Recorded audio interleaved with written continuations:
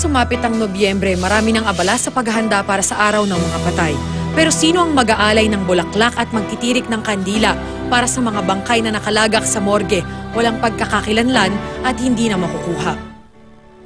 Sa ilang dekadang pagtatrabaho ni Mang Orly sa punerarya, hindi na raw niya mabilang ang mga bangkay na dumaan sa kanya.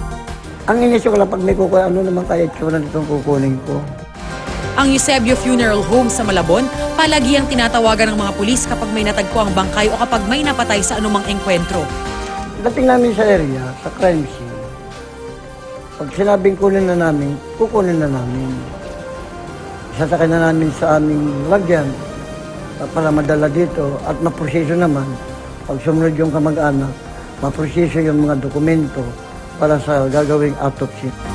Pero sa maraming pagkakataon, walang kamag-anak o kakilala ang pumupunta para i-claim ang katawan. Dalawang bangkay ngayon ang nakalagak sa punerarya ni Namang Orly. Meron pa raw anim sa isa nilang pasilidad sa Bulacan. Kung hindi nakababad sa likidong may gamot, palagian daw nilang nilalagyan ng formalin ng katawan na hindi pa kinukuha sa kanila. Dalawang linggo na daw ang bangkay na ito dito sa morgue. Inatake daw siya sa gilid ng kalsada at hanggang ngayon ay wala pang pamilya na pumupunta para kunin ang katawan niya. Pagkatapos ng tatlong buwan at wala pa rin kumukuha sa katawan na ito, ay ipapalibing daw ito ng Eusebio Funeral Homes. Sa tala ng PNP, mahigit 2,000 bangkay na walang pagkakakilanlan ang inuulat sa kanila taon-taon.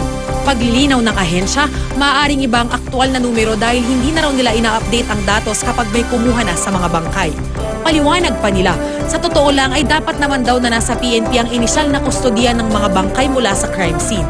Yun nga lang, the cadaver should be supposedly uh, dadalhin sa sa PNP Crime Laboratory Morgues. But considering uh, some of our uh, uh, area, wala naman talaga kaming uh, mga morgue, PNP morgues. So, pina-deliver namin sa o pinapakustody muna namin siya doon sa accred, uh, not actually accredited morgue, but uh, yung mga morgue na which is always pakipagtulungan sa PNP.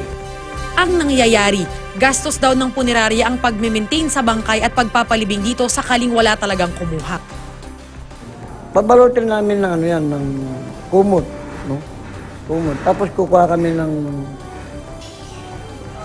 apartment. Doon, lalagay namin doon. Para kung anytime na may dumating na kamag-anak, pwedeng buksan, pwede mong hugutin at pakita mo yung mukha ko yun. Pero hindi ganito ang sinasapit ng lahat ng mga bangkay na walang pagkakakilanlan. Dalawang taon na ang nakalipas na diskubre ang mahigit sa isang daang mga naaagnas na bangkay na nakatambak sa isang punerarya sa La Loma, Quezon City. Nadiskubre ito makaraang ireklamo ng mga kapitbahay dahil sa masangsang na amoy. Nang pasukin ng mga otoridad, lumantad ang patong-patong at halos wala ng paglagyang mga bangkay. Nasa advanced state of decomposition na rin sila kaya naman iniipis na at kinakain na ng mga daga. Inilibing na ang mga bangkay sa isang mass grave sa Quezon City. Ang DOH na siyang nangangasiwa sa mga punerarya, wala raw datos ng mga unclaimed bodies. Hindi raw kasi lahat ng punerarya ay nagre-report nito. Yung mga unclaimed bodies, ano, pag once na nakita yan ng ating uh, local government code, particularly yung uh, city or municipal health office, i, i talagang they have to advise you know, the, the the funeral establishment concerned na immediate mass burial ang gagawin nila or else they will be put, uh, masasanksyon ho sila. Kung tutuusin, ang nakasaad lang talaga sa Sanitation Code of the Philippines ay tungkol sa mga namatay dahil sa nakakahawang sakit. Rekomendasyon ng DOH, dapat pagkatapos ng isang linggo ay ilibing na raw ang bangkay.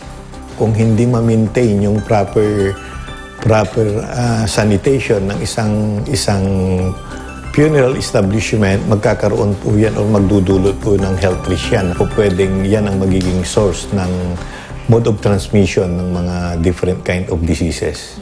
Para sa mga naghahanap ng nawawalang mahal sa buhay, maaari raw lumapit sa PNP Investigating Unit at magdala ng anumang mga dokumentong makakatulong sa pagkilala sa kaanak. Samantala, libo-libo ang mga yumaong hindi man lang nasilaya ng kani-kanilang mga mahal sa buhay. Ngayong darating na undas, naway maisama natin sila sa ating mga panalangin. Ako si Darlene Kay at ito ang unang balita special report.